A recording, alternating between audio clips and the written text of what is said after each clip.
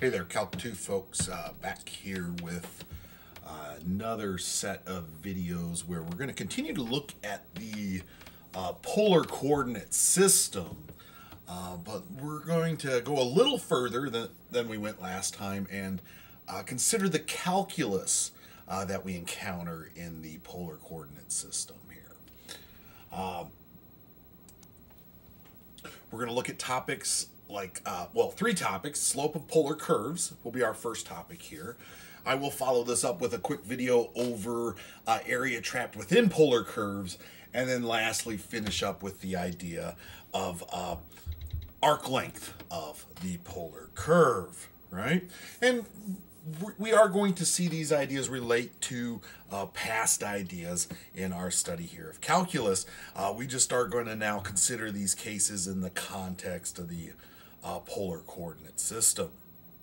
Now, the first case we consider here is the case for um, the slope of a polar curve, right? Or what we might think of as the slope of the line tangent to a polar curve, which could be generalized to the slope of the curve at a point on the curve, right?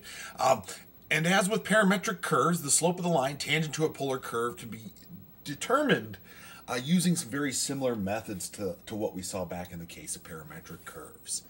Uh, the formulation for a, polar function, right, uh, is presented here in the following theorem in terms of finding the slope of the line uh, tangent to a polar curve. Now, if we look at this theorem, right, this theorem does start off with the assumption that what we have here is this polar function. Uh, we suppose we have a polar curve described by the polar function r equal to f of theta. Right? If we were interested in the slope of the line tangent to the polar curve at some specific value of theta, right, at some particular angle measurement in the polar coordinate system, right, that slope right? That slope we understand is the value dy dx, right? The cha instantaneous change in y with respect to the instantaneous change in x, the instantaneous change in rise or vertical change in terms of the instantaneous change in horizontal change, right? X is going to describe our slope, and it's given by this calculation here on the right. Where what you can see is up in the numerator, I do have the sum of two terms, right? The first term being the, uh, well, the, the product of f prime at that specific angle measurement theta null times the sine of theta null being added to our second term, uh, what would be the, the, the, the, polar function f evaluated at the um, what specific angle measurement theta null times the cosine of that specific angle measurement theta null right? And all of that is put over top of this quantity, this difference, right? This difference of two terms, where in the first term here, we again have the, notice this is the first derivative of our polar function, evaluated at our specific angle measurements, times the cosine of that specific angle measurement, minus our second term, which is now just the product of our polar function at the specific angle measurement theta null times the sine of theta null at that specific angle measurement. And this is all provided that this quantity we have in the denominator, notice that is just the quantity found here in the denominator, that that is not equivalent to zero in value. If that's equivalent to zero in value, um, we might have the case for a vertical tangent at that location, or it might be the case for a cusp or a, a pinch point or, or a corner in our graph where there may not be a definitive slope of the line tangent to the curve there. All right.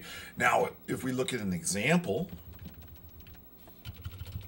right, we might consider the slope of the line tangent to the polar curve given by r equal to 4 cosine theta at the value of r comma theta at the polar coordinate 2 comma pi over 3 right? If we consider this case, right, our polar function is that function for cosine theta. Here's our polar function. That is the function r equals f of theta here, right? Where we might think of it, if f of theta equals 4 cosine theta, that does imply the first derivative of f, which I'm going to need in my calculation up here, is the opposite of 4 sine theta in value. All right? So if I'm at this particular angle measurement, if I'm considering this location where I'm interested in the tangent line, I'm going to be at this particular angle measurement, theta null equal to pi over 3,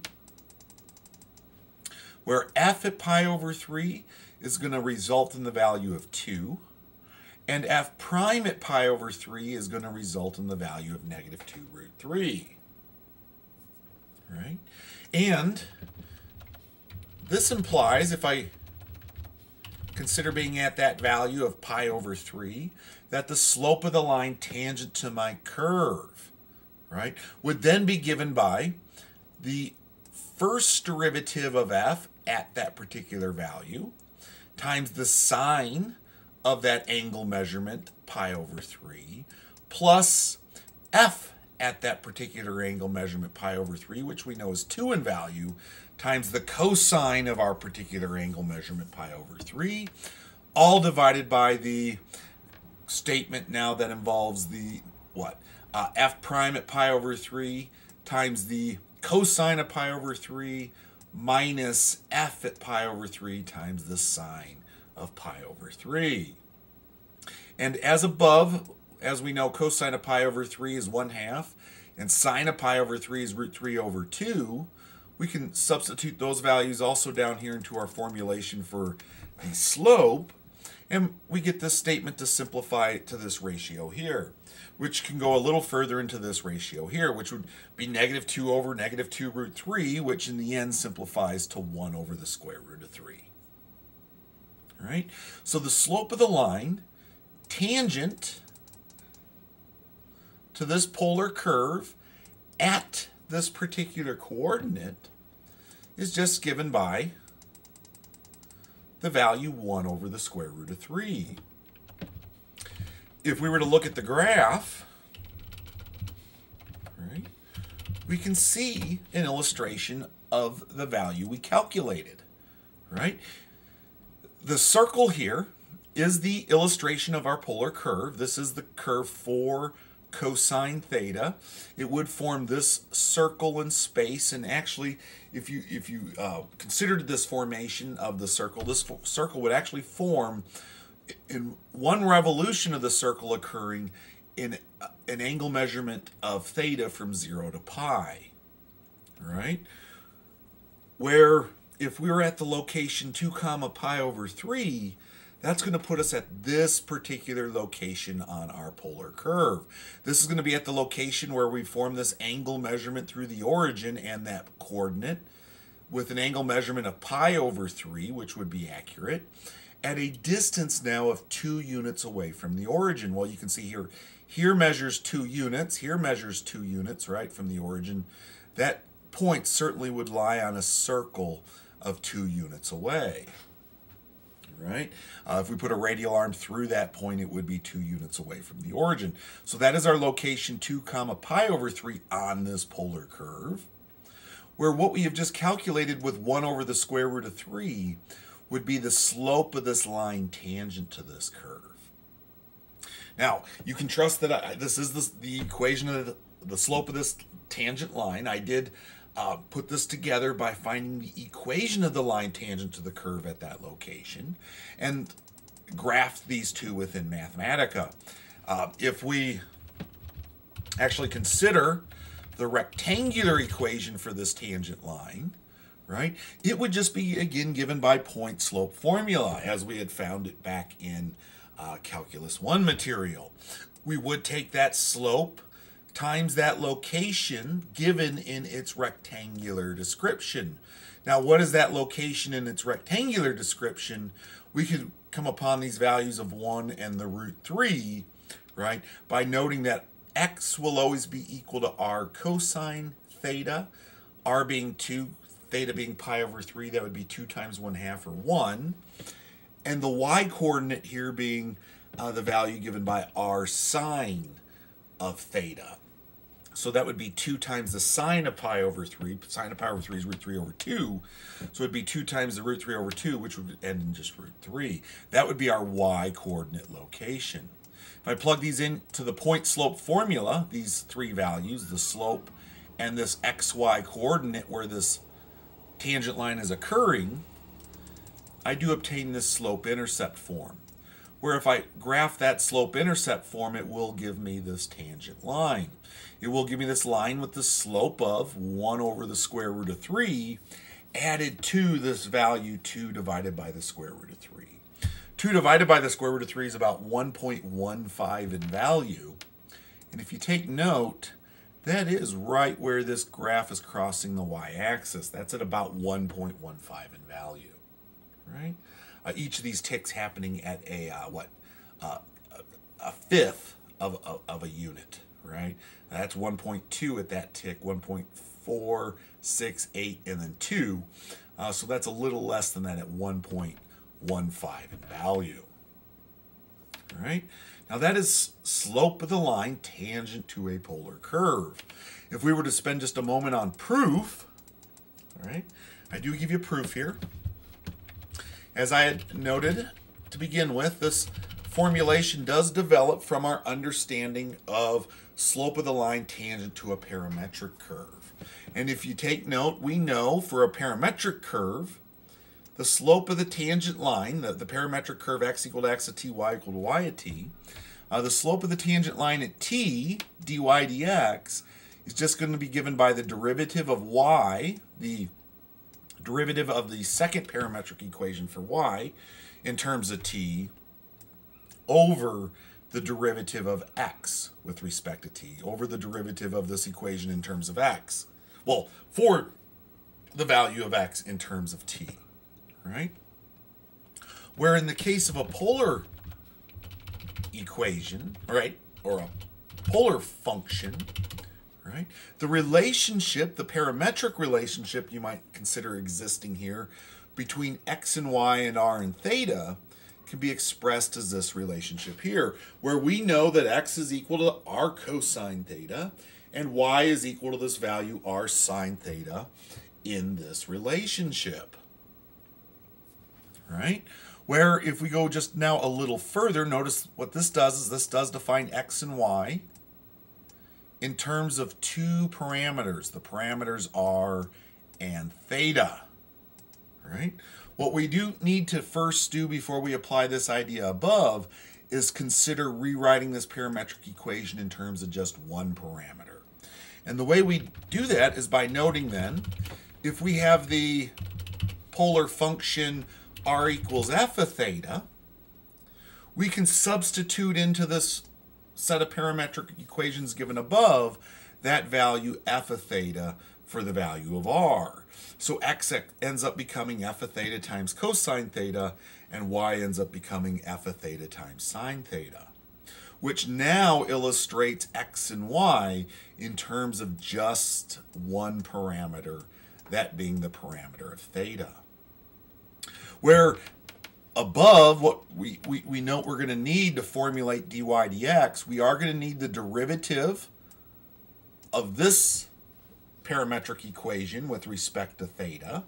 And we're going to need that divided by then the derivative of x with respect to t or the derivative of this equation with respect to theta. Right? And if we take note, those derivatives, here I, I take note that dy dx is really just going to be the derivative of this with respect to theta divided by the derivative of this with respect to theta, where we can take note from product rule, those derivatives are as follows.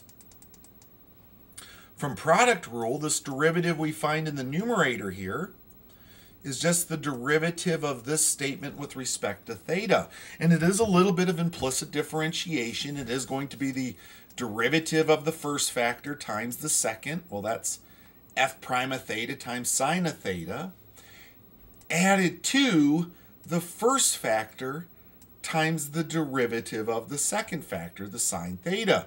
Now the derivative of sine theta is cosine theta. So we have plus f of theta cosine theta. We perform a similar calculation for dx d theta involving f of theta cosine theta. It's the derivative of f, which is f prime, times cosine theta, right? Plus f of theta times the derivative of cosine. Now, the derivative of cosine is negative sine theta, so that's where the negative comes into our formulation here. And if we now take these two quantities for dy d theta and dx d theta and form them into this ratio, right, we have the formulation given above in our theorem. dy dx will end up equaling f prime of theta times the sine theta added to f of theta times the cosine theta in the numerator, all divided by f prime of theta cosine theta minus f of theta sine theta found here in the denominator. Notice that is our formulation at any generic value of theta. All right? And all that came from was our, uh, what? Parametric description of this sorry, uh, this polar coordinate relationship between x and y and r and theta, right? Uh, essentially what we have here is a, a specific case for this parametric relationship understood in general as x equal to x of t, y equal to y of t, where x and y are being parameterized in terms of what we end up with here is just the parameter of theta where I can then apply this result to that parameterization, right? To develop this description of slope of the tangent line. All right, so folks, that is our first, uh, what, case of looking at the uh, calculus that we encounter in the polar coordinate system. Uh, what I have to come back to again is uh, two more videos here. My next one, I'm going to look at uh, the area bounded by polar curves. But I will be back, uh, well, that will be uh, its own separate video, so, so uh, check that out. Um, hope you're all doing well, and I'll see you then.